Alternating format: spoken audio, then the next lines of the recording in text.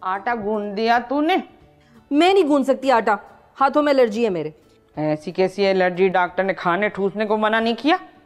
چل آٹا گون کے دے مجھے۔ اف میں نہیں گوند رہی آٹا۔ خام خام میرے ہاتھوں پہ پھوڑے ووڑے نکل آئیں گے ہمیں۔ انشاءاللہ پھوڑے تو تیرے منہ پہ نکلیں گے۔ وہ میں کہنے آئی تھی کہ ہماری فیملی کے لیے روٹی مت منگوانا۔ اصل میں ملیر والے پھپا آئی سی یو میں ہے نا تو ہم سب وہیں جا رہے ہیں ان کی طرف۔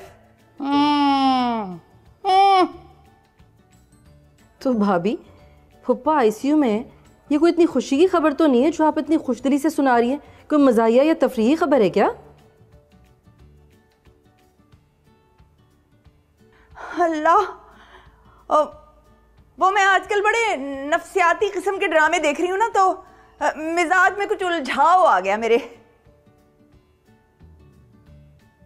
اے نگہت یہ نیا جوڑا ہے نا؟ ارے ارے کیا کہہ رہی ہیں آپ؟ چھتیس دفعہ تو پہن چکی ہوں۔ وہ بات الگ ہے کہ ساجد جب بھی مجھے اس جوڑے میں دیکھتے ہیں وہ کہتے ہیں کسی اور ہی دنیا کی مخلوق لگتی ہو۔ ہے تو تو کسی اور دنیا کی مخلوق مگر میں اس دنیا کی نشاندہی نہیں کر سکتی۔ ویسے بھابھی آپس کی بات ہے بھائی بڑا چپتا ہوا رنگ ہے یہ تو۔ آئیے عمریں یہ رنگ پہننے کی۔ یہ چوڑیاں نیلی ہیں کبلی ساجد نے دلوائی ہوں گی۔ اتنا دیالو نہیں ہے آپ کا بیٹا جو باہر کی قیمتی قیمتی چوڑیاں لا کے دے گا ہمیں۔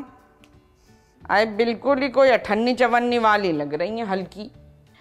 اے نگت کیا تیرے پھپا آئی سی او میں آنے والے مہمانوں کی خاطر مدارات قورمے اور بریانی سے کر رہی ہیں جو تو بغیر کھائے نکل رہی ہیں؟ وہ ہم واپسی پہ ملیر کینٹ نکل جائیں گے نا؟